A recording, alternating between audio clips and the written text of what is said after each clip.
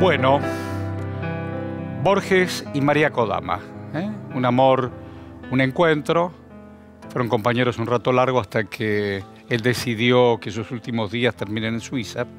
Y María Kodama, además de haber sido la compañera con quien se casó, la esposa, era la heredera universal, heredera universal de Borges. Vamos a ver qué pasa ahora.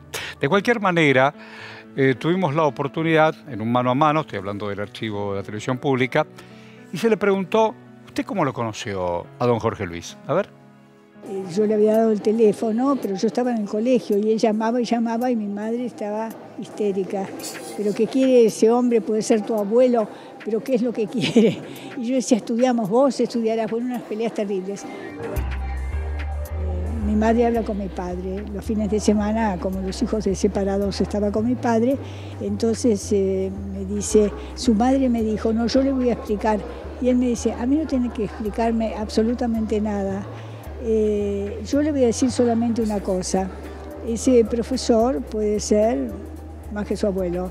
Entonces, eh, usted tiene 16 años, es decir, toda la vida por delante no haga nada que pueda arruinar toda esa vida que usted tiene por delante. Bueno, ¿qué quiere comer?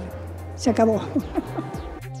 Yo me acuerdo que yo tendría 7, 8 años y había un libro en mi casa con un señalador, lo abro y eran las ruinas circulares.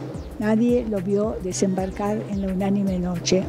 Como yo fui educada por mi padre, japonés, no tenía libros infantiles, yo a los 5 años sabía leer y escribir. Cuando fue digamos, el momento que él me preguntó qué había leído, qué me gustaba, entonces yo le Borges, entonces yo le dije, bueno, le digo, lo que a mí me fascinó es eh, un cuento, Las ruinas circulares.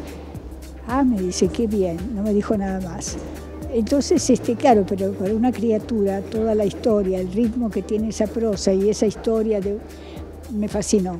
Y después un día fue muy emocionante porque... Eh, en una conferencia uno de los alumnos eh, hace la pregunta sobre las ruinas circulares. Ah, dice, ese cuento. Yo trabajaba en la biblioteca Miguel Cané, yo comía con mis amigos, salía, pero lo único que quería era volver a mi casa.